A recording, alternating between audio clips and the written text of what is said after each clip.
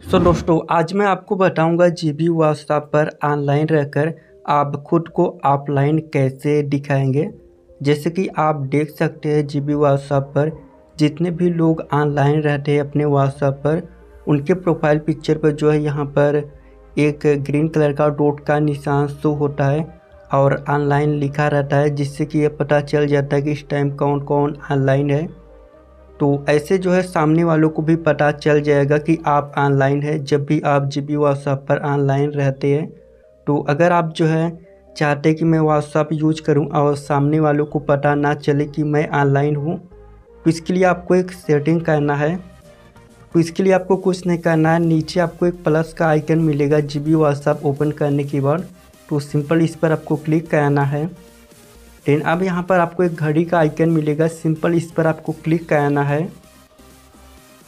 उसके बाद आपका जो ऑनलाइन स्टेटस है, वह हाइड हो जाएगा।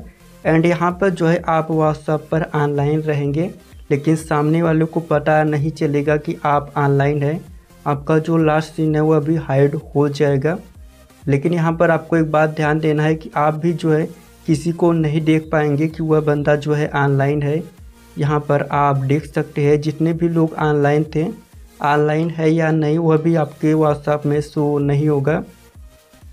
जैसा कि आप देख सकते हैं तो फिर से अगर आप ऑनलाइन देखना चाहते हो तो यह फिर से सेटिंग आपको करना है। घड़ी के आइकन पर क्लिक करना है। एंड यहाँ पर फिर से जो है, जितने लोग ऑनलाइन रहेंगे, यहाँ पर शो हो जाएगा।